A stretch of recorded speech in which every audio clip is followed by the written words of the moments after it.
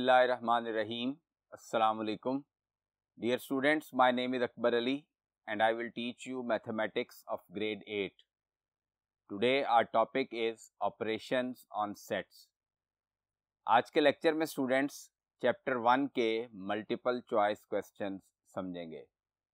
Board की तरफ़ चलते हैं।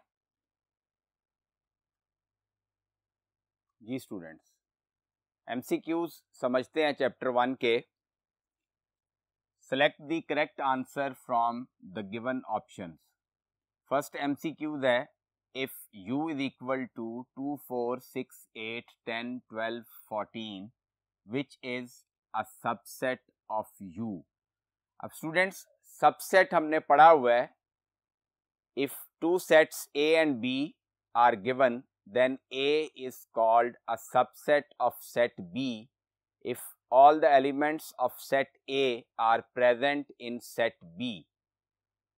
अगर सेट A के तमाम एलिमेंट्स सेट B में मौजूद हों तो सेट A सेट B का सबसेट कहलाता है अब अगर सेट B में कुछ जायद एलिमेंट्स होंगे तो सेट A सेट B का प्रॉपर सबसेट कहलाएगा और अगर सेट ए के तमाम एलिमेंट्स सेट बी में होंगे और जायद कोई एलिमेंट नहीं होगा तो सेट ए सेट बी का इम प्रॉपर सबसेट कहलाएगा। अब यहाँ पे हमें चार सेट्स गिवन है। ए ऑप्शन में सेट ए है, जिसके दो एलिमेंट्स हैं टू फोर ये दोनों एलिमेंट्स सेट यू में मौजूद हैं। इसका मतलब सेट ए जो ए ऑप्शन में लिखा हुआ है, वो सबसेट है सेट यू का।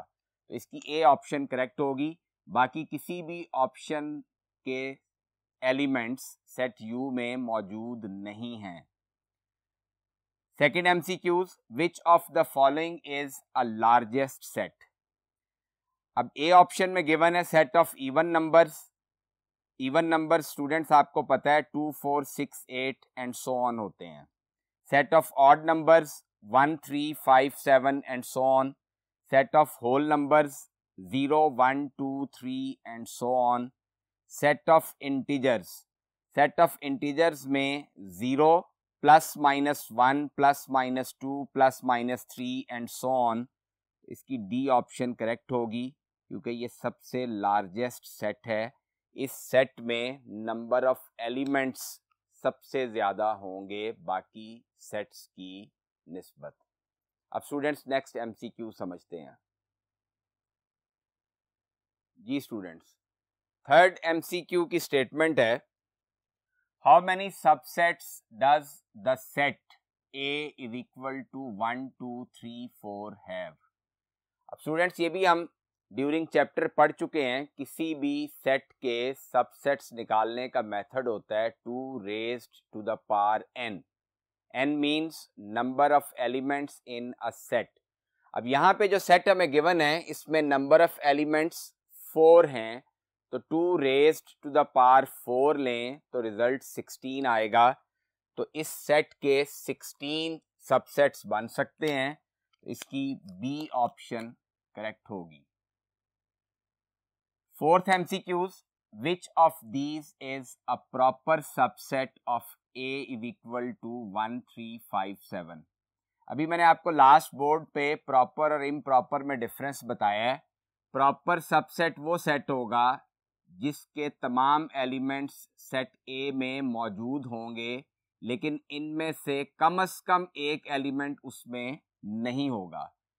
अब फ़र्स्ट ऑप्शन में सेट बी गिवन है वन, टू, थ्री। तो टू सेट ए में मौजूद नहीं है तो सेट बी सेट ए का सबसेट नहीं होगा।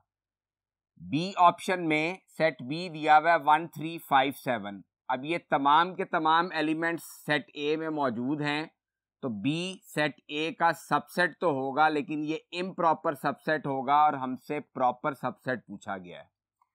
सी ऑप्शन में बी के एलिमेंट्स हैं वन थ्री फाइव अब जो बी सेट गिवन है सी ऑप्शन में वो सेट ए का प्रॉपर सबसेट होगा, क्योंकि सेट ए में एक एलिमेंट जायद है।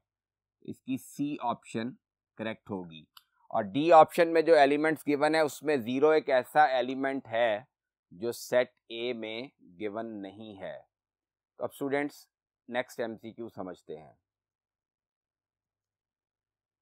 जी स्टूडेंट्स लास्ट एमसीक्यूज है which of these is the correct statement for De Morgan's law De Morgan's law की स्टूडेंट्स दो स्टेटमेंट्स होती हैं। एक A union B whole complement is equal to A complement intersection B complement और दूसरी statement होती है A intersection B whole complement is equal to A complement union B complement अब यहाँ पे ए की ऑप्शन करेक्ट होगी क्योंकि डिमॉर्गन्स लॉ कहा गया है तो सी ऑप्शन में जो ऑप्शन है ये करेक्ट होगी A intersection B whole complement is equal to A complement union B complement तो स्टूडेंट्स आज के लेक्चर में हमने multiple choice questions chapter one के समझे।